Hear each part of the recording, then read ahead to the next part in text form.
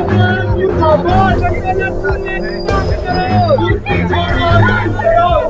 跑大哥不要跑大哥不要跑大不要跑大哥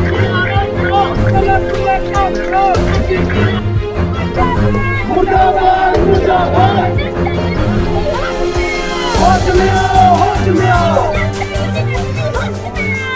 要跑大哥 घटना जो क्लस्टर विश्वविद्यालय के अंदर हुई है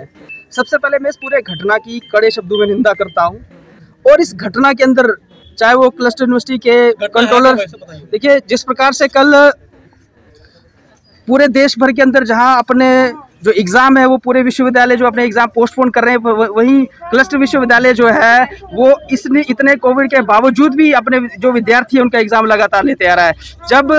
एक स्टूडेंट्स ऐसे अनेक प्रकार के स्टूडेंट जो पॉजिटिव आए हैं, जब एक हमारी बहन जो पॉजिटिव आती है, उसके घर वाले जब क्लस्टर विश्वविद्यालय के कंट्रोल ऑफ़ एग्जामिनेशन से जो उनसे संपर्क करते हैं, उनको वो फ़ोन कॉल करते हैं और वो ये कहते हैं कि हमारी बेटी पॉजिटिव आई है। परंतु जिस प्रकार का बिहेवियर जिस प्रकार की अप्रोच क्लस्टर विश्वविद्यालय के कंट्रोल ऑफ़ एग्जामिनेशन द्वारा दिखाई जाती है और वो जो जिस प्रकार की वो लैंग्वेज यूज़ करते हैं कि आ, हम कुछ नहीं कर सकते आपको एग्ज़ाम देना होगा। और जब वो विद्यार्थी एग्ज़ाम देने आता है और जहाँ विश्वविद्यालय ये बात करता है कि हम कोविड अप्रोप्रिएट बिहेवियर को फॉलो कर रहे हैं परंतु इस प्रकार की कोई वहाँ चीज़ नहीं होती है। सबसे पहले उस जो मिनिस्ट्री ऑफ़ एजुकेशन उसके द्वारा ऐसे प्रावधान किए गए हैं कि कोई भी स्टूडेंट जो कोविड पॉजिटिव होता है जब वो नेगेटिव होगा उसका एग्ज़ाम उस समय लेना चाहिए। परंतु क्लस्टर विश्वविद्यालय द्वारा ऐसी कोई भी कोविड अप्रोप्रिएट बिहेवियर को फॉलो नहीं किया गया है। इसलिए इस इस पूरी घटना के अंदर जो कंट्रोल ऑफ़ एग्जामिनेशन है, वो सामने सामने दिख रही है कि वो पूरी तरह इन्वॉल्व है। उनके जो डिक्टेटोरी डिक्टोरियल अप्रोच है डिक्टेटरशिप जो कंट्रोलर द्वारा दिखाई गई है, वो एक गलत चीज़ है।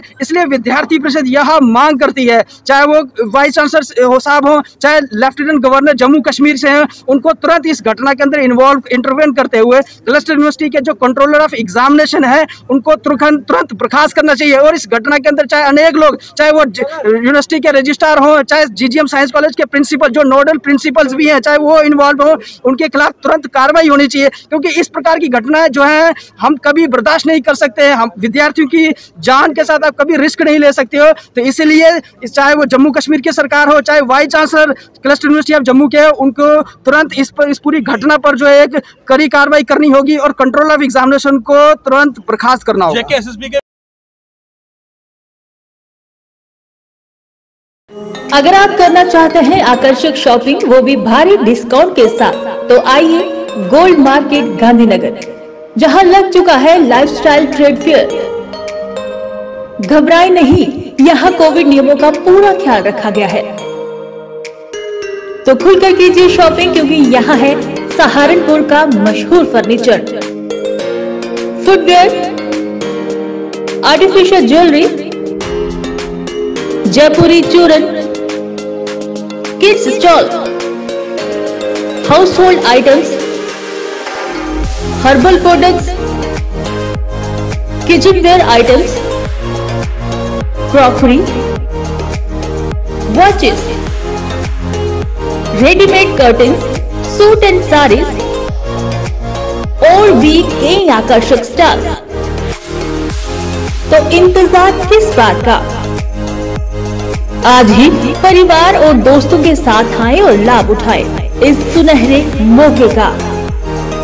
Lifestyle trade fair gold market Gandhinagar Jammu timing सुबह 10 बजे से रात साढ़े नौ बजे तक।